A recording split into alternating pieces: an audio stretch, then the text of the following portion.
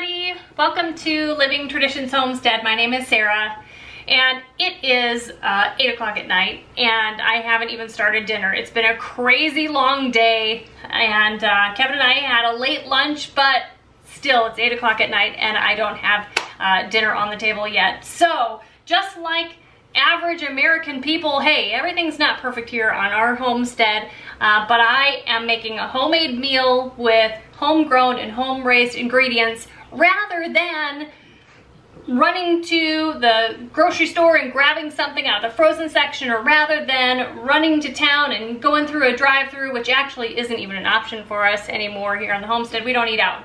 But I want to teach you an option on a busy night that there is still something homemade, nutritious, and quick that you can serve to your family in a pinch. In addition to teaching you something quick to make your family that's healthy and nutritious, homegrown and home raised, I also want to confess to you something. I don't can pasta sauce. I don't can it anymore. And if I have a choice to tell you, don't can pasta sauce anymore because there's an easy, easy alternative that will save you a lot of time with canning if you just can tomato sauce. I've got a lot on my plate in the summer. I've got lots of tomatoes coming in and pasta sauce just has been off of the table the last two years um, and it's just been tomato sauce. So I have developed a couple pasta sauce recipes that you can make at home on the fly that are so good and today I'm going to teach you the fastest because I need to get going. So I'm not just going to make a plain old pasta sauce tonight. I'm actually gonna make a mild Italian sausage meat sauce. It's gonna be so good. Tonight I'm gonna have you come along with all the stages at once that I'm gonna do to prepare this meal so you can kind of see how I coordinate everything. The first thing that we're gonna do is get the pasta water started because honestly, with this meal that we're creating tonight, by the time the pasta water boils and the pasta cooks, all of the sauce and the meat and everything is gonna be all done and it's gonna come together all at once. So I am the back here, I have a pot with water. We're gonna get that boiling, but I am gonna put some salt in there. I always put pink Himalayan salt in my pasta water because I think it tastes awesome. So I don't I don't really measure. I'm just gonna put what looks to me to be about a teaspoon of pink Himalayan salt in the water. And in my um, experience, salted water and pasta just makes the pasta taste better. Tonight we're gonna have pork sausage with our home-raised ground pork. And I'm actually gonna do a quick mix and turn this into an Italian, uh, mild Italian pork sausage. Now, you could just use pre-made pork sausage or beef sausage, turkey sausage, whatever you want, but I find this to be super easy and quick. And I'm just gonna put one tablespoon of the sausage mix that I use when I'm in a soup in a hurry. Um, there is a homemade mix that maybe one day I'll bring you guys along and teach you my homemade sausage mix. Uh, but for now, what we are really enjoying um, is this Legg's Old Plantation Seasonings Mild Italian Sausage Seasoning. We did put this in our Amazon shop if you want to take a look at it. We are actually able to get that locally in one of our grocery stores. Okay, so one tablespoon of that to one pound of ground meat.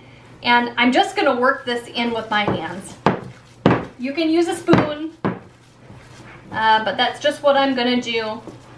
And this will flavor this nicely, even if it doesn't have a whole lot of time to sit. But if you have extra time, and you can mix these seasonings in and put it in the fridge and let it just kind of sit all day long. The, the flavors will be even more amazing.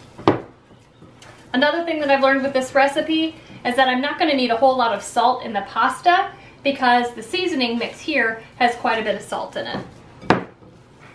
Okay, so this is good enough.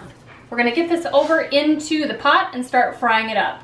Now when I'm making anything that is tomato sauce based, which is this, obviously, I'm not going to use a cast iron pan because tomato sauce is so acidic that it can actually start ruining your pans if you don't have a really, really thick seasoning on it.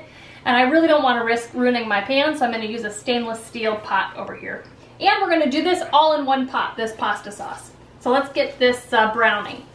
The ground pork that I'm using tonight is actually very lean. It's our home-raised uh, raised out in the woods ground pork. And so I'm gonna need to use a little bit of olive oil to fry it in in the pan. The venison we use also is often very lean and so I'll add some oil, but if you're using something that's a little bit more on the fatty side, you may not need any. And honestly, a little extra olive oil in pasta sauce really adds a nice depth and flavor to the sauce. So don't worry about adding a little bit of olive oil. So I have this in here and then I'm just gonna put our uh, sausage, raw sausage in here. And I'm just going to brown it like you would any other meat. Okay, that is done.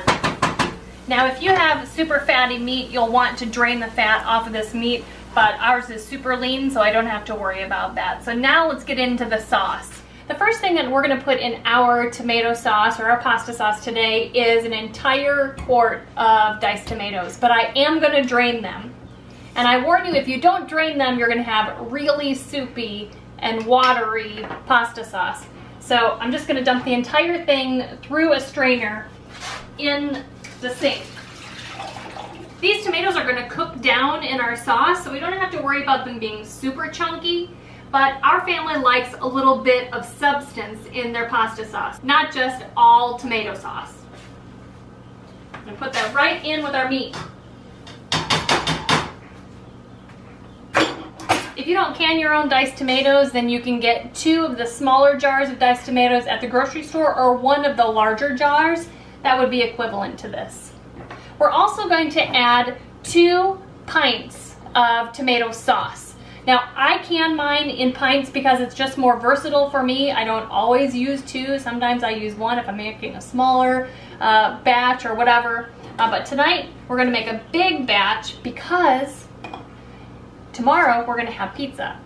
And any of the leftover sauce, the, the pasta sauce with the meat, it makes great pizza sauce. Okay, so we're gonna dump both of these into our pot. Okay, in they go. Two pints of home raised, home canned, gorgeous tomato sauce. Put them back in there. Now the color will vary because these were made at home. We're just going to um, mix that all up. I'm going to get this heating right away so that the flavors in the sausage start mingling with the tomato sauce and the tomatoes start cooking down a little bit. Now there are some extra seasonings that we're going to add into there, but our pasta water is boiling, so let's put the pasta in.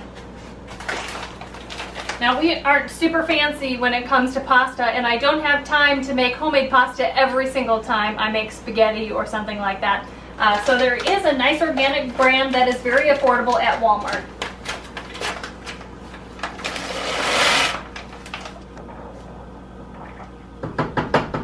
Okay, back to the sauce.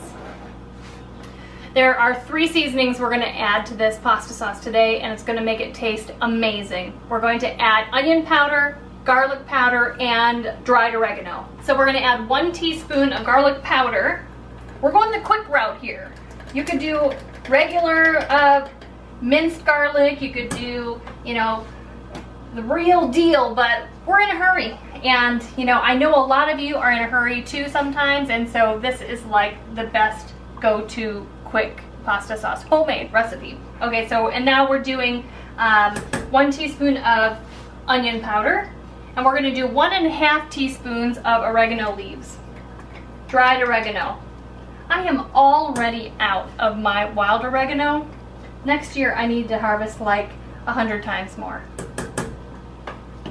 And the last ingredient which we're going to um, add is one tablespoon of sugar. Now this is optional, but just tomato sauce and tomatoes for us is gonna be too sour. And to tame that down a little bit, we're gonna add sugar. If you don't want to add sugar, you don't have to, but we're going to because our family loves it. And honestly, one tablespoon of sugar in this amount is not a big deal for us. Our family has made the switch to non-GMO cane sugar, and C&H brand is non-GMO certified. Cane sugar is actually not a GMO product. However, sugar that isn't labeled cane sugar is made from sugar beets and sugar beets are a GMO product. And even though our family isn't 100% organic, we try our hardest. Now the sauce is completely done. That's it. We just need to let it come to a low boil and then turn it down and let it simmer until our pasta is done. Actually, that's a good reminder. I need to stir the pasta.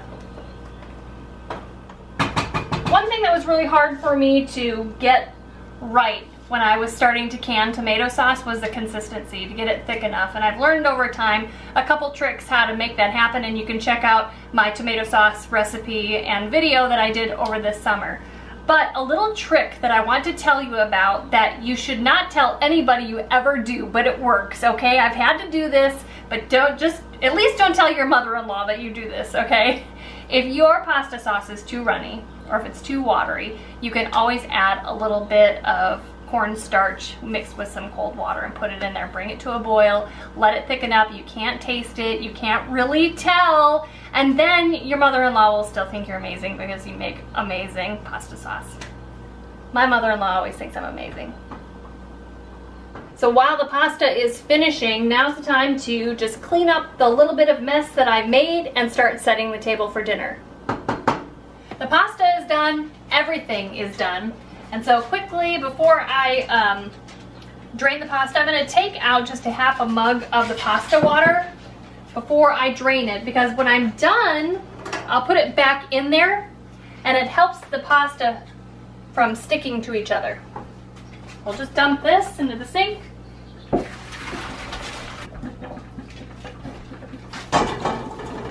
that in there. And that way you don't have to add any oil or anything to it. Okay, it's time to take this to the table. Here we go. And earlier, Kevin made some homemade breadsticks, which is actually the same recipe for his uh, pizza crust. So check out that video um, if you're interested, and it's time for us to dig in. So look at that, a fast, healthy, and really tasty meal for your family. A lot of this was homegrown and home raised here on our homestead. Hey, if you're not a subscriber yet, right now is the perfect time to hit the subscribe button below. Don't forget to check us out on all of our social media, including Instagram. And until next time, thanks so much for stopping by the homestead. Take care and God bless.